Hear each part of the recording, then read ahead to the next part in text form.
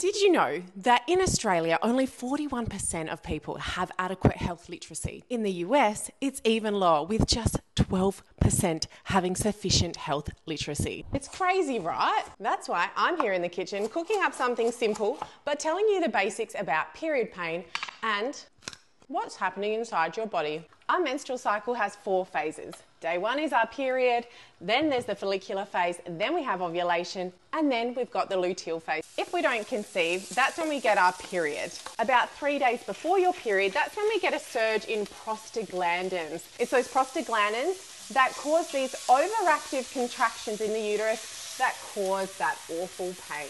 Now, here's the thing those prostaglandins are what contribute to pain.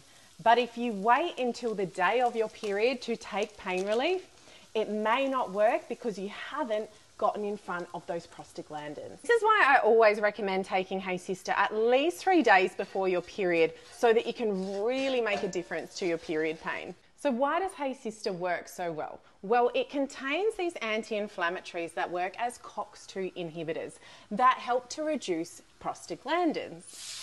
Plus, Hey Sister is packed with polyphenols, antioxidants, and prebiotic polysaccharides which support your gut health. Polyphenols can also help to repair tissue damage and even prevent issues from happening in the first place.